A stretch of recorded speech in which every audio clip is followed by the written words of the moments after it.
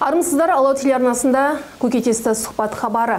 Біз бүгінгі хабарымызда қостанай мемлекеттік университетінің жанындағы аграрлық техникалық институттың түлектерінің жұмыспен қамтылуы жұмыс берушілермен қандай жұмыстар жүргізіледі және серпін бағдарламасының қандай жеңілдіктері бар сол туралы бейне байланыс арқылы біз сұхбаттасамыз. Ал бүгінгі бейне байланысқа бізбен шығатын қостанай мемлекеттік университетінің аграрлық техникалық институты директорының орынбасары марғұлан бәкір мырза. Марғұлан абдуллаұлы сәлеметсіз бе сізбен байланыс арқылы бізбен байланыс арқылы осылай сұхбат беруге келіскеніңізге алғысымызды білдіреміз. Марғұлан абдуллаұлы ең бірінші сұрағым. Енді қазіргі таңда аграрлық, аграрлық техникалық институттың жалпы жұмысы жөнінде тоқталсаңыз студенттердің жай күйі бүгінгі. Жалпы қандай мамандықтарды бітіріп шығады олар бітіргеннен кейін? Қайырлы күн. Барлықтарыңызға биылғы жылы аграрлық техникалық институт болып бөлінген болатынбыз. Былтырғы осы өткен 19-20 оқу жылынан бастап аграрлық техникалық институты. Бұл жерге бұрынғы ветеринарлық факультет агробиологиялық инженерлік техникалық және ақпараттық технологиялар факультеті осы төрт факультет біріктіріп аграрлық техникалық институт болып бөлінді. Ол институттың қарамағында қазір осы жаңағы атап кеткен төрт бұрынғы факультеттердің негізгі мамандықтары бар. Жаңағы ақпараттық жүйелер информатика есептеу техникасы одан кейін электроэнергетика аграрлық техникалық техника және технология.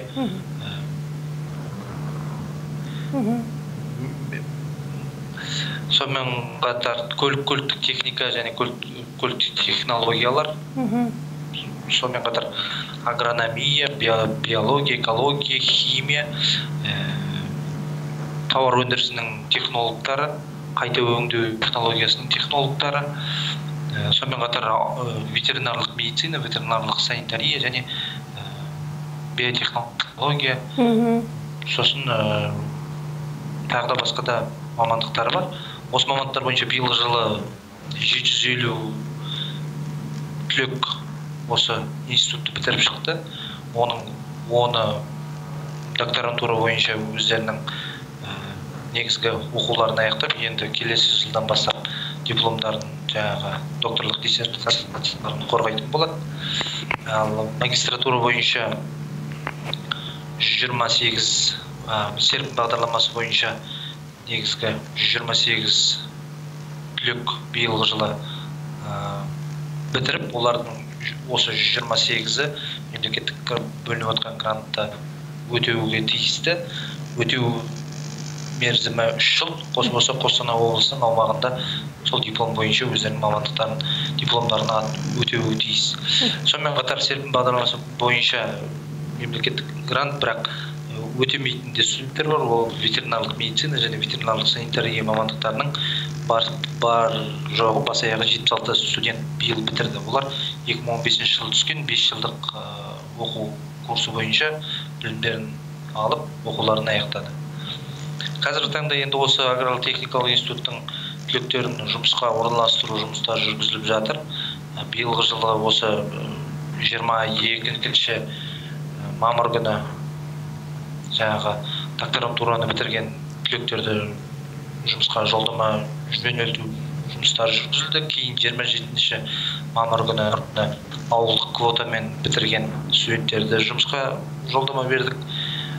Одан кейін сегізінші маусым күні ең негізгі осы қиын да күрделісі қазіргі таңдағы осы серпін бағдарламасымен білім алған студенттерімізді жұмысқа орналастыру себебі мынау қазіргі еліміздің болып жатқан жағдайға байланысты көптеген түлектеріміз наурыз айының ортасынан бастап өздерінің тұрғылықты жерлеріне елді мекендеріне кеткен болатын. Тіпті дипломдарын алуға да бұл студенттерімізге келуге рұқсат біреуіне берілді біреуіне жалпы күштеу жоқ болды. Тіпті олардың мемлекеттік емтихандарда диплом қорғау рәсімі де барлығы да онлайн түрде өткізілгеннен кейін дипломдарын көбісіне жаңағы почта арқылы қазпошта арқылы жөнелттік елдеріне үйлеріне сонымен қатар көбісі түлектеріміздің көбісі өздері келіп те алды. Қазіргі таңда осы қостанай қаласында жүріп жұмыс іздеп жатқан жұмысқа орналасып жатқан да түлектеріміз бар. Енді жалпы серпін бағдарламасымен бітіріп келген түлектерге осы биылғы 2016 жылдан оқуға түскендерден бастап қаржы орталығы мониторинг етуді қолға алып отыр. Сол себептен олар биылғы диплом алып отқан түлектердің барлығы осы қостанай облысының аумағында қалып дипломдарын өтеу керек. Сол себептен қазіргі таңда жұмыстар жүргізіліп жатыр әр мамандық бойынша. Бірақ көбінесе серпіндіктердің енді арасында кейбір біреулері бар. Мынау магистратураға түсіп жатқан жағдай болса егер грант болсын немесе ақылы магистратураға түсіп жатса олар жаңағы өздерінің дипломдарын өтемей ақ қоюға болады. Сонымен қатар осы көшіп келгендер яғни переселенцы деген бағдарлама бар серпін бағдарламасымен осы жақта қалып жұмыс істейтіндерге сонымен қатар алғашқы жұмыс орны деген бағдарламалар бар. Олардың барлығын бірінші мынау сегізінші маусымға дейін жаңағыдай өздерінің қолдарында анықтамасы жұмысқа шақыру кепіл хаты болмаса біз оларды автоматты түрде халықты жұмыспен қамту орталығына жөнелтеміз. Сол халықты жұмыспен қамту орталығына жолдама бердік енді сол жолдама бойынша осы серпін бағдарламасымен келген түлектеріміз жаңағы переселенцы немесе алғашқы жұмыс орны первое рабочее место деген екі бағдарлама бойынша екеуінің біреуі бойынша үкіметтің атынан қосымша көмек ала алады. Былтырғы бітіріп кеткен студентіміз қазіргі таңда магистратурада оқып отыр. Сонымен қатар жұмыс істеп отыр. Ол жаңағы переселенцы бағдарламасы арқылы ай сайын үкіметтен бір жыл бойына елу үш мың теңге жиырма мрп қателеспесем көмек алып отырады квартплатаға.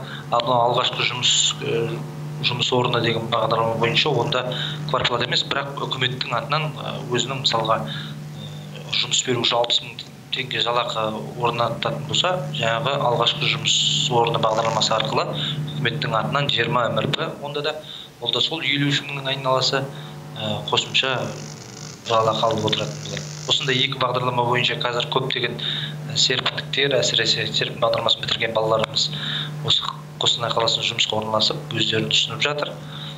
Енді қыркүйектің орта кезіне қаратай толық жұмысқа орналастырып осы жұмысқа орналастыру жұмыстарын толық аяқтаймыз деген үміттеміз. Әзірге осындай ақпаратымыз бар. Енді серпін бағдарламасы бойынша келгендердің көбі сол оңтүстік өңірлерден келген иә? Солай ғой. Олар сол оңтүстік өңірлерге бармай қостанай жерінде қалып жатыр ма сонда көпшілігі? Биылғы жылғыларды көбінесе олардың әрине үйлеріне қайтқысы келеді өздерінің елдерінде әке шешелерінің жанында тегін үйде тұрып өтегілері де келеді. Ол барлығына бірдей шын мәнінде барлығына бірдей мамандық бойынша жұмыс тауып беру де оңай нәрсе емес қостанай облысынан әсіресе. Иә. Сол себептен қазіргі таңда мынандай егер балаларға қыркүйектен бастап желтоқсан айына дейін жаңағы қаржы орталығы оларды мониторинг ететін болады. Егер қыркүйек айынан жаңағыдай жылдың соңына дейін егер ол балалар жұмыс табылмаса жаңағы жұмыспен қамту орталығы олардың қолдарына вакансия жоқ деген қағаз жазып береді. Сосын сол вакансия жоқ деген қағазды алғаннан кейін ол балаларды автоматты түрде өздерінің тұрып жатқан елді мекендерінің жұмыспен қамту орталықтарына жіберіледі. Сол жерден сосын оларға одан әрі жұмыс қарастырылады мамандық бойынша. Ал негізінде биылғы жылғы талап бойынша олар осы қостанай облысының аумағында мамандық бойынша емес кез келген мамандық бойынша жұмыс істей беруге болады ең басты мақсат серпін бағдарламасының ол келген жаңағы түлектерді студенттерді осы қостанай облысының аумағында тұрақтандырып қалдыру. Ең негізгі мақсат. Сол себептен биылғы жылдан бастап мамандық бойынша тапқандары қалып жатыр. Мамандықсыз егер жұмыс таба алмай жатса студенттер өздері де келіп жаңағыдай айтып біз өзіміз тауып алайық шағай өзіміз тауып алып сосын жаңағы жұмысымызды істеп жүре берсек бола ма? Өйткені сіздер тауып беретін жаңағы жұмыспен қамту орталығы тауып беретін жұмыс орындарының жалақысы қандай болады бізге белгісіз? Деп. Сол себептен еркіндікті өздеріне де беріп отырмыз өзіміздің тараптан да қарап қарастырып жатырмыз. Сол себептен қазір таңда осы үрдіс жүргізіліп жатыр. Демек серпін бағдарламасы бойынша оқып жатқан студенттер осы жер қостанай облысында қалуға міндетті болып отыр ғой иә сонда? Олар жұмыс тапсын таппасын. Иә биылдан бастап сондай өзгеріс енгізіліп отыр. Енді олардың тұратын жері расында да өзге облыстардың балалары соның бәрі сонда үкіметтен қаржыландырылады ғой солай ма? Сіздің айтуыңыз бойынша? Енді нақты түрде серпін бағдарламасымен бітірген балаларға үй қарастырылған тұратын орын қарастырылған деген қағида жоқ. Ондай қарастырылмаған оны шыны керек. Оның барлығы тек мынау дипломмен ауылға бағдарламасы бойынша бітірілген барған мысалға медициналық сосын педагогикалық мамандық бойынша бітіріп шыққан түлектерге ондай қарастырылған дипломмен ауылға бағдарламасы бойынша. Тіпті ол дипломмен ауылға бағдарламасымен қарастырылған күннің өзінде де тіпті сол жаңағы педагогикалық медициналық бітірген мамандықтардың осы ауылдарға елді мекендерге барғанның өзінде жүз пайыз оларға жаңағы жататын орнын тауып беру қиын. Олардың өзіне әрең тауып береді. Кейбіреулеріне бір жылдан кейін тауып береді. Уақыт өте келе. Бірден ешкімге тауып бермейді. Ал серпіндіктерге ондай бағдарлама қарастырылмаған. Ондай мүмкіндік қарастырылмаған. Ә, жұмыс берушінің өзіне байланысты болады. Мысалға биылғы зерновая индустрия компаниясымен кездесу өткіздік. Осы агрономия ауыл шаруашылық техникасының студенттеріне арналған.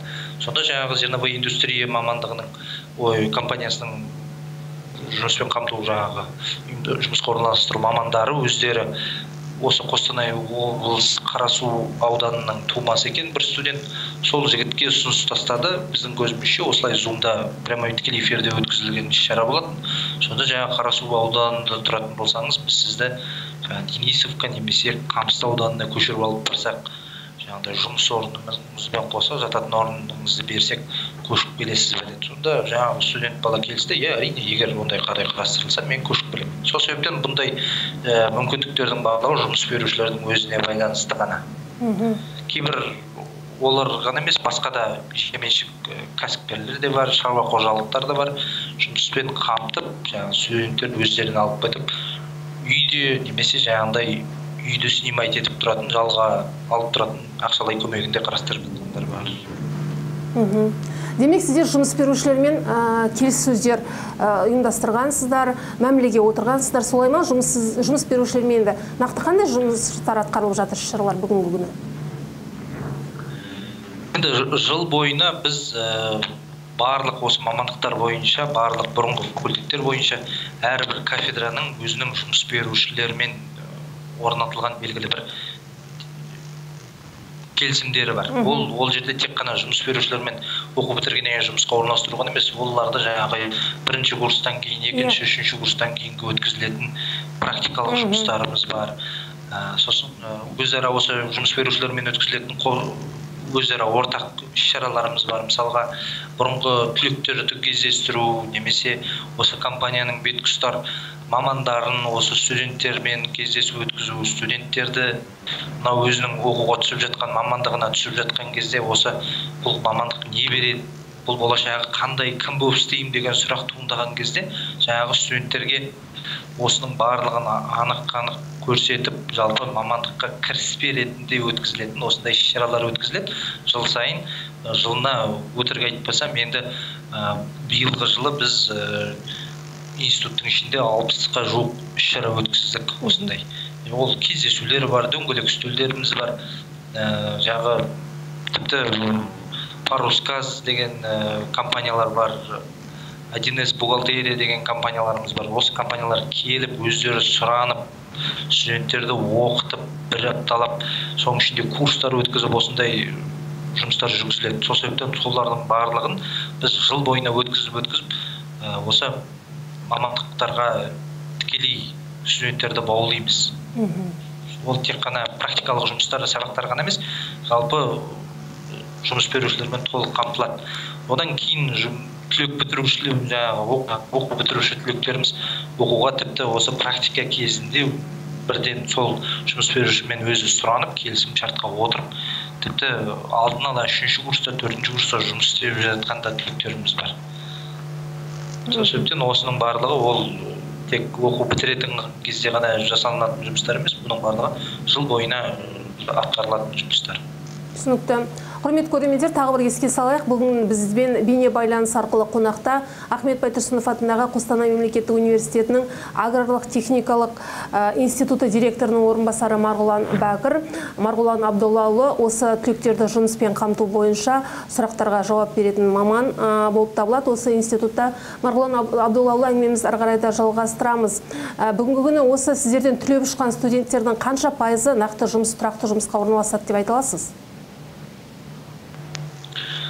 Енді қазіргі таңда бізден түлеп ұшатын түлектер қазіргі заманда жұмыс істемейтін адам болмайды. Түсінікті нәрсе. Иә.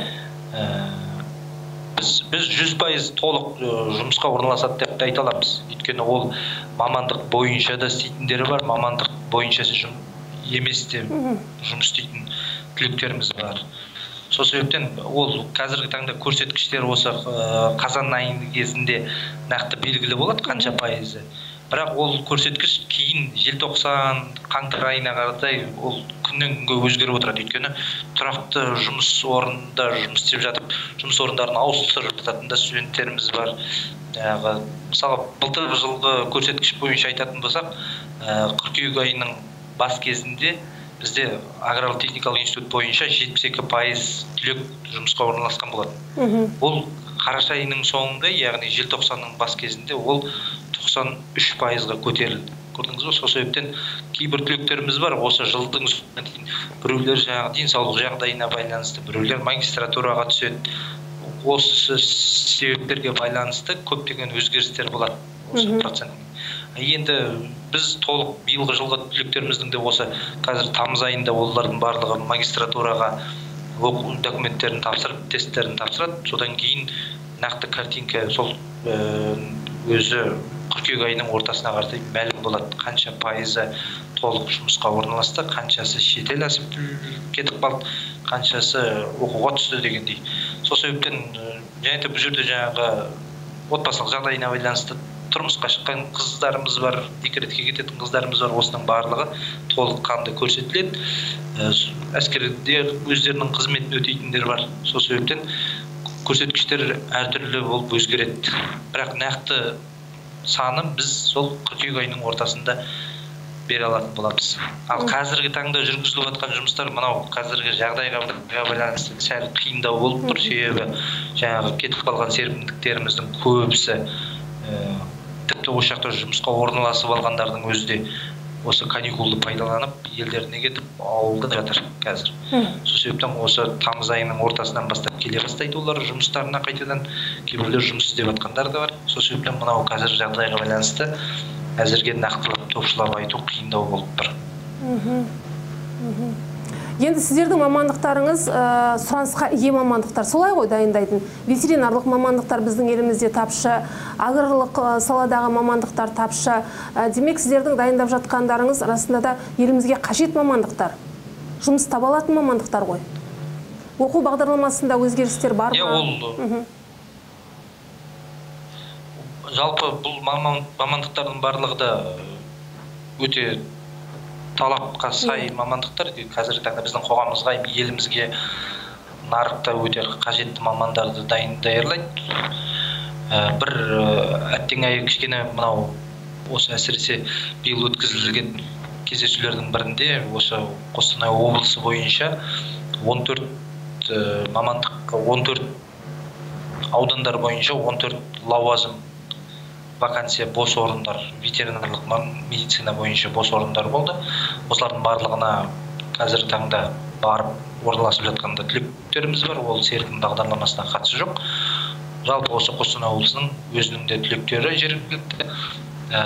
Онымен қоса мынау жалпы егер де университетке бұндай талаптар осы мамандықтарға сұраныс аз болатын болса университет ондай мамандықтарды көптеп даярламас еді. Сол себептен осы жасалып жатқан осы біздің беріп жатқан білім бағдарламаларында иә жыл сайын атаулар өзгеріп отырады.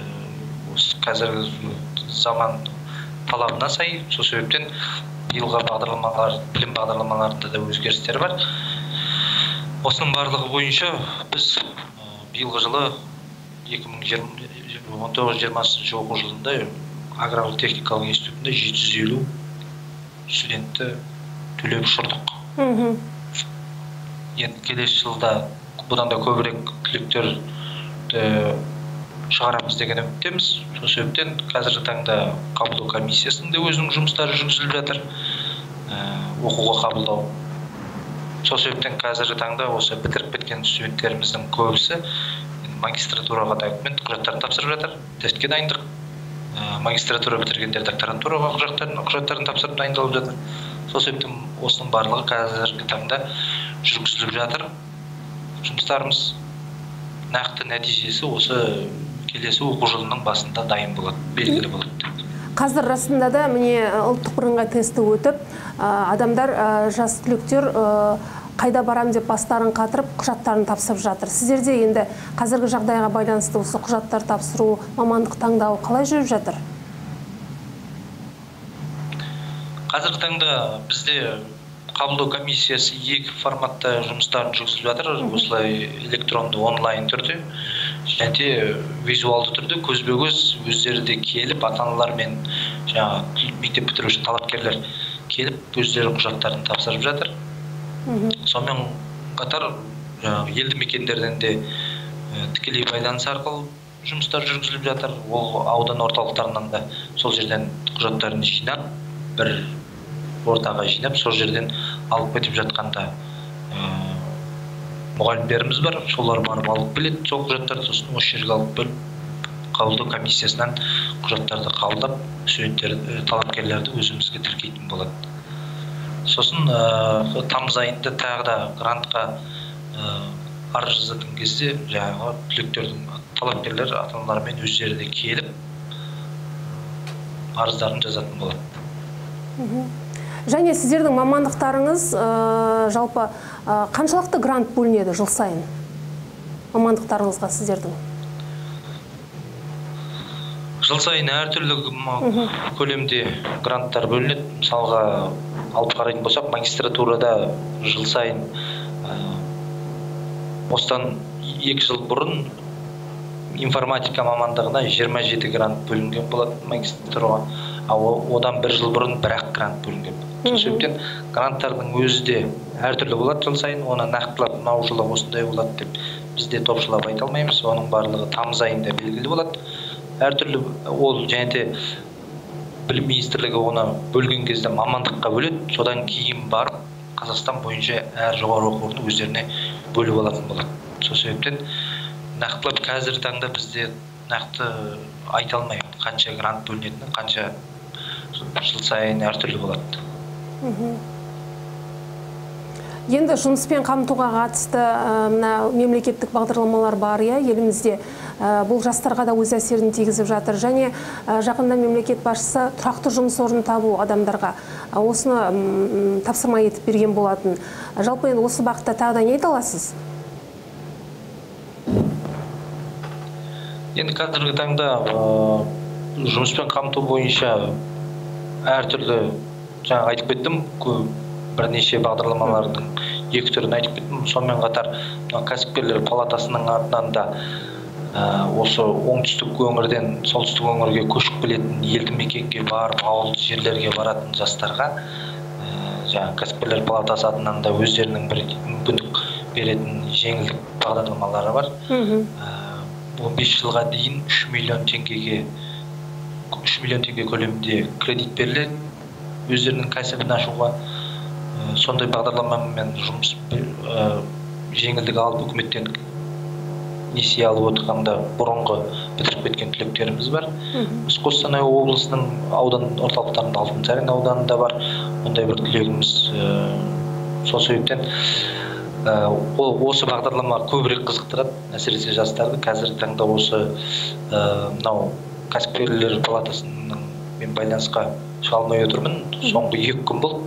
Осы биылғы бітірген серпіндік түлектеріміз күндіз хабарласып байланысқа шығып егер мүмкіндік болса сіздерге де құлақтарыңызға алтын сырға сол кісілермен осы тақырыпта тағы да бір бағдарлама жүргізіп өткізіп жіберсеңіздер сілтемесін беріп біз студенттерімізге жаңағы серпін бағдарламасымен биылғы бітірген студенттерімізге түлектерімізге айтып түсіндіріп осы эфирді қарап жаңағы өздерінің көкейінде жүрген сұрақтарын сол жерге қойып өткізілсе. Өйткені анық анық тағы да нақтылап өздерінің қоятын сұрақтарына жауаптарын алса дейміз. Өйткені студенттеріміз хабарласады сұрайды осындай осындай бағдарламалар бар ма деп. Оны биылғы жылы оқу жылының аяғында мамыр айында да өткізген болатынбыз. Сол жұмыс жастар басқармасымен бірігіп және де кәсіпкерлер палатасымен де онымен қатар осы қостанай қаласының жұмыспен қамту халықты жұмыспен қамту орталығының мамандарымен де іс шаралар өткізілген болатын. Сол себептен ол бағдарлама жаңағы кездесуге қатыспай қалған естімей қалған да түлектеріміз бар. Сол себептен тағы да осындай сұрақтары бар. Егер мүмкіндік болса осындай тікелей эфирде осы әсіресе кәсіпкерлер палатасымен осындай жеңілдіктерге қандай тағы да қосымша бағдарламалар бар солар туралы білетін кездесу өткізілсе деген. Ұсынысым бар дейсіз ғой иә? Ұсыныспен түсінікті. Марғұлан абдоллаұлы бізге берген уақыт аяқталып қалды. Сондықтан да осы бейне байланыс арқылы бізбен байланысып қонақта болып осы аграрлық техникалық институттың түлектерін жұмыспен жұмысқа орналастыру серпін бағдарламасы бойынша жеңілдіктер төңірегінде сұхбат бергеніңізге алғысымызды айтамыз. Әрине жоспарларыңыз сәтті іске ассын дейміз. Құрметті көрермендер осымен хабарымыз аяқталды. Бүгінгі студия қонағы болған ахмет байтұрсынов атындағы қостанай мемлекеттік университетінің жанындағы аграрлық техникалық институты директорының орынбасары марғұлан бәкір бізбен бейне байланыс арқылы қонақта болған еді. Мен сіздермен қоштасамын.